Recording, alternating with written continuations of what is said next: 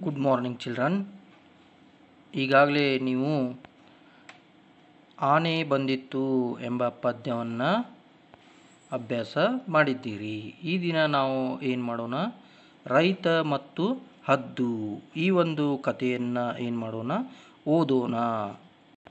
ನಾನು ಮೊದಲಿಗೆ ಓದ್ತೀನಿ.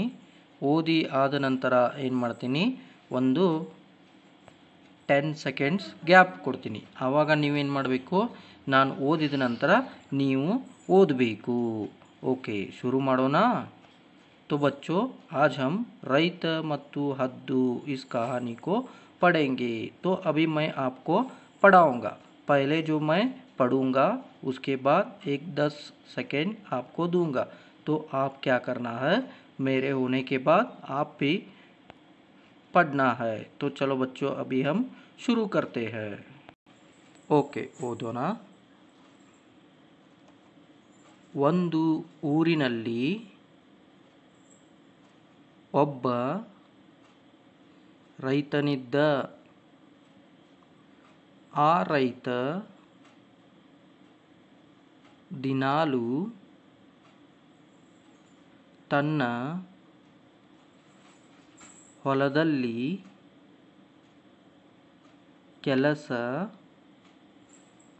ಮಾಡುತ್ತಿದ್ದ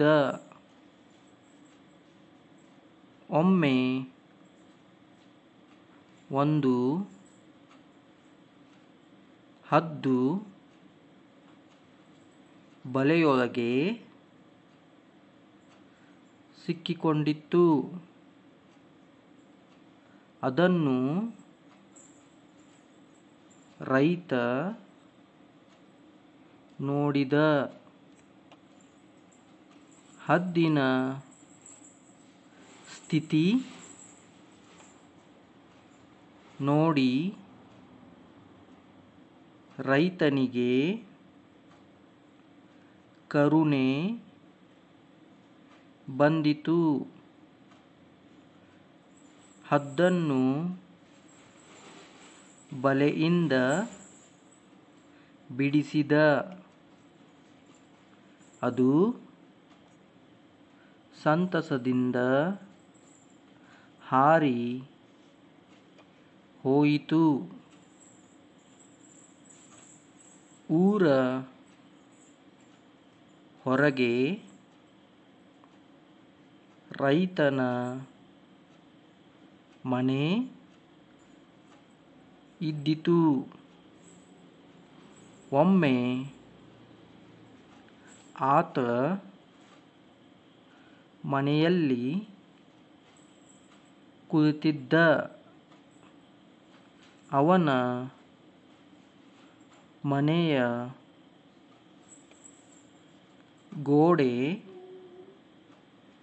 ಕುಸಿಯುವ ಸ್ಥಿತಿಯಲ್ಲಿತ್ತು. ಆಕಾಶದಲ್ಲಿ ಹಾರಾಡುತ್ತಿದ್ದ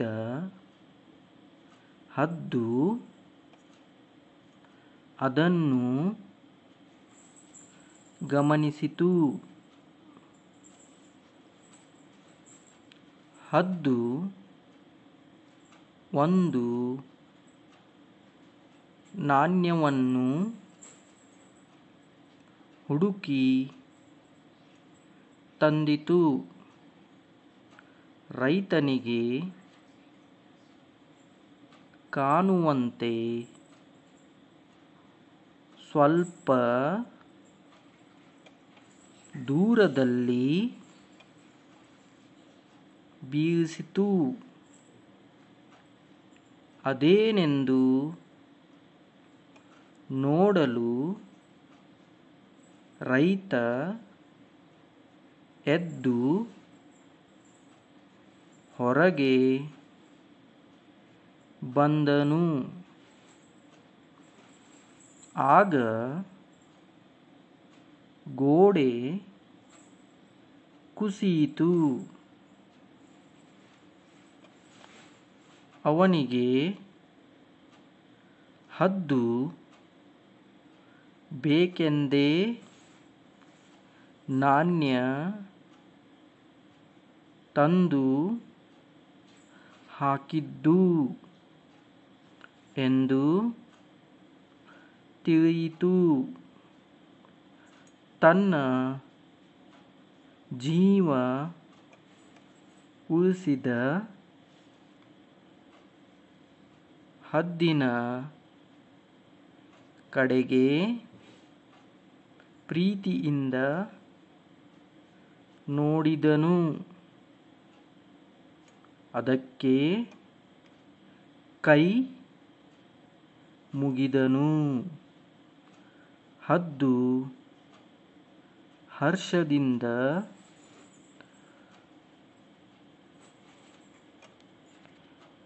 ಮುಗಿಲ ಕಡೆಗೆ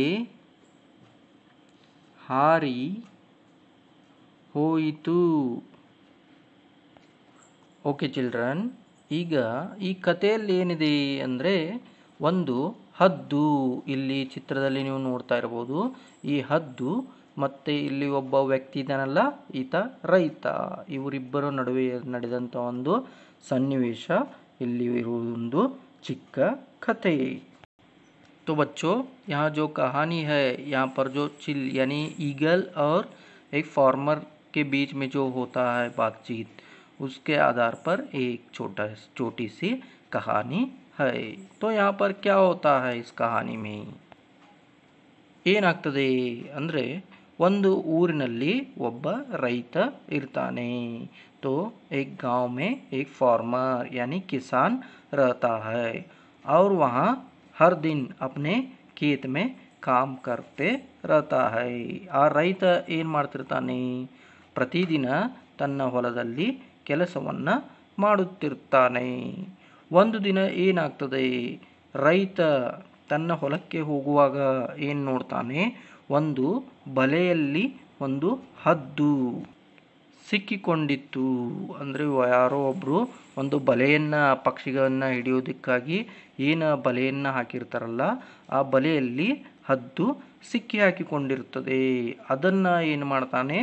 ರೈತ ನೋಡ್ತಾನೆ ನೋಡಿ ಏನಾಗ್ತದೆ ಅವನಿಗೆ ಹದ್ದು ಆ ಒಂದು ಬಲೆಯಿಂದ ತಪ್ಪಿಸಿಕೊಳ್ಳಲು ಏನು ಮಾಡ್ತಾ ಇರ್ತದೆ ಒದ್ದಾಡ್ತಿರ್ತದೆ ಅದನ್ನು ನೋಡಿದ ರೈತ ಏನು ಮಾಡ್ತಾನೆ ಹದ್ದನ್ನು ಆ ಬಲೆಯಿಂದ ಬಿಡಿಸ್ತಾನೆ ಆವಾಗ ಹದ್ದು ಏನಾಗ್ತದೆ ಸಂತಸದಿಂದ ಅಂದರೆ ಖುಷಿಯಿಂದ ಹಾರಿ ಹೋಗುತ್ತದೆ तो क्या होता है एक दिन जो किसान अपने खेत की तरफ जाते रहता है तो उसी वक्त वो देखता है कि वहाँ पर रास्ते में एक जो ईगल रहता है, वहाँ जाल में फंस कर उसमें से फा, पार होने के लिए कोशिश करते रहता है। तो वहाँ किसान देखकर क्या करता है, उस ईगल को वहाँ जाल से निकाल कर बाहर छोड़ देता है। तो वहाँ ईगल खुशी से आसमान की तरफ़ उड़ जाता है।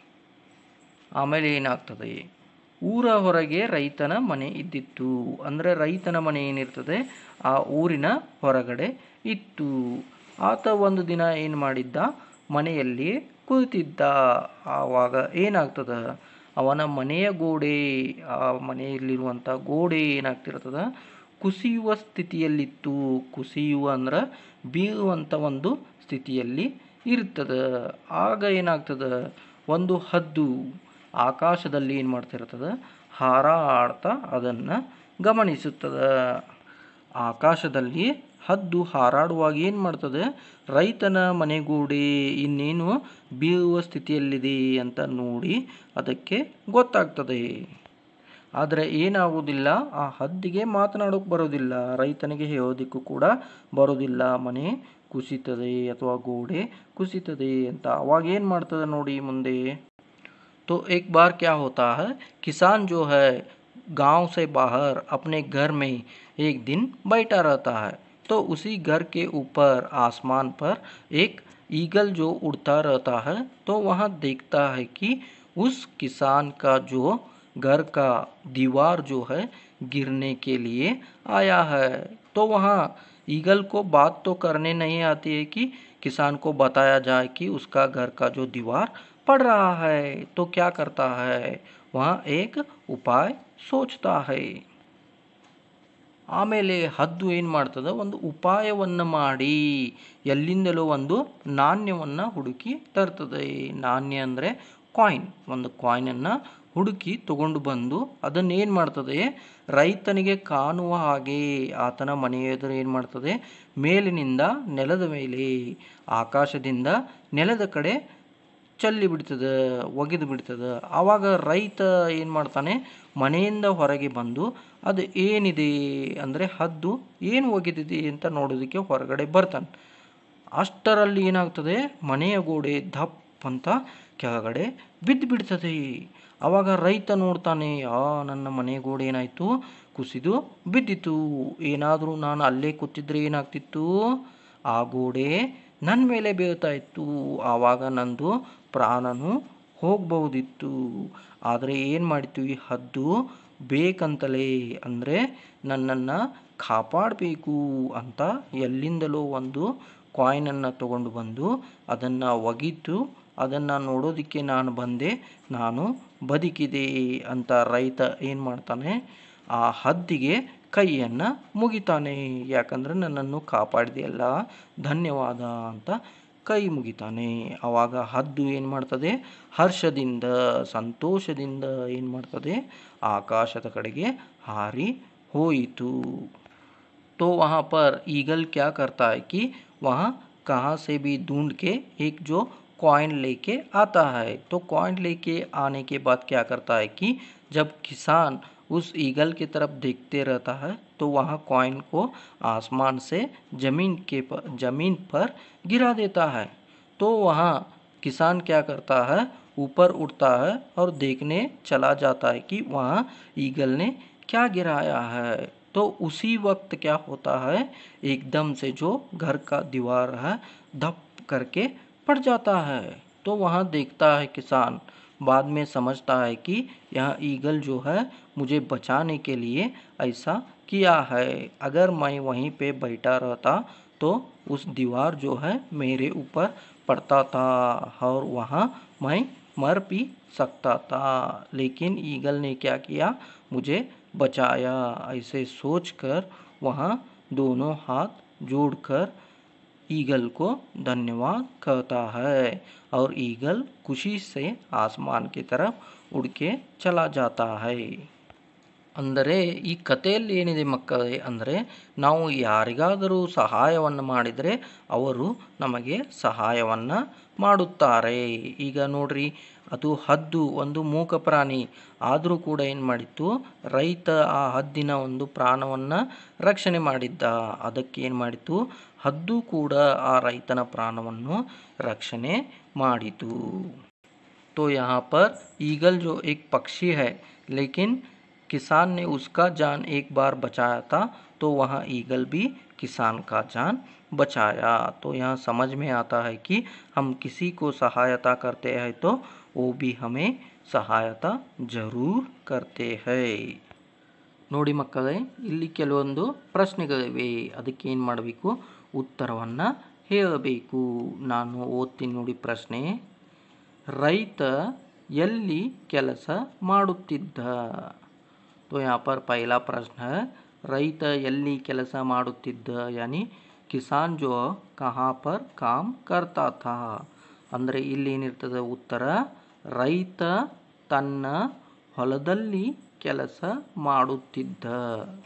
ಎರಡನೇ ಪ್ರಶ್ನೆ, ಹದ್ದು ಎಲ್ಲಿ ಸಿಕ್ಕಿಕೊಂಡಿತ್ತು ಅಂತ ಇದೆ. ಇದಕ್ಕೇನಿರ್ತದೆ ಉತ್ತರ? ಹದ್ದು ಬಲೆಯಲ್ಲಿ ಸಿಕ್ಕಿಕೊಂಡಿತ್ತು. ಮೂರನೇ ಪ್ರಶ್ನೆ, ಹದ್ದನ್ನು ಬಲೆಯಿಂದ ಬಿಡಿಸಿದವರು ಯಾರು? ಓಕೆ, ಮಕ್ಕಳ ಹೇಳಿ. ಹದ್ದನ್ನು ಬಲೆಯಿಂದ ಯಾರು ಬಿಡಿಸಿದರು?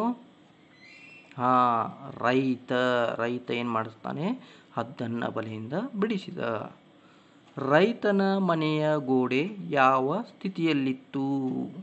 ರೈತನ ಮನೆಯ ಗೋಡೆ ಕುಸಿಯುವ ಸ್ಥಿತಿಯಲ್ಲಿತ್ತು.